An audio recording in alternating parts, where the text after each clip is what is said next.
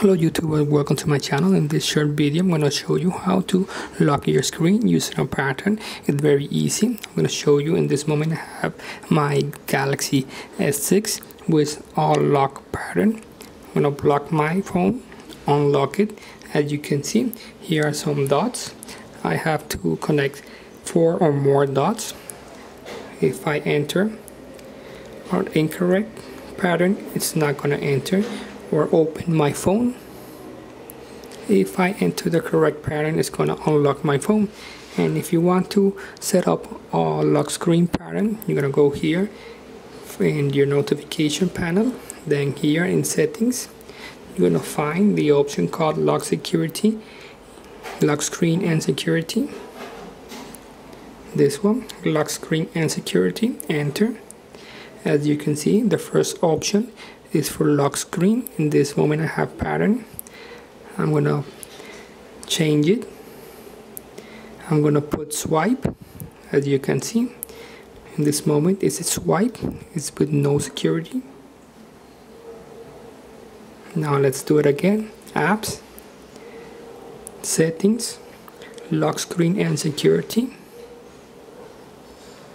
Lock screen and security in the first option you're gonna select pattern. Then you must uh, connect four dots or more. Let's do one different. Three four five dots. Confirm. Now it's gonna ask for backup pin in case you forget your pattern. Don't put one so easy like the one I am putting now I'm gonna lock and unlock my screen. As you can see this one the last one I had incorrect pattern. If you enter incorrect pattern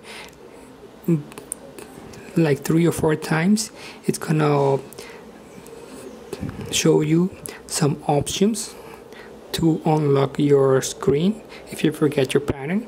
But you must enter a pattern that's similar to the pattern that you entered. If I do it with patterns incorrect patterns as you can see I have two options to unlock my Google, my phone unlock via Google unlock via backup pin. Now let's do it with the correct pattern as you can see it's very easy. That's all for this video. Don't forget to subscribe to my channel like the video and share the video in your facebook. Thank you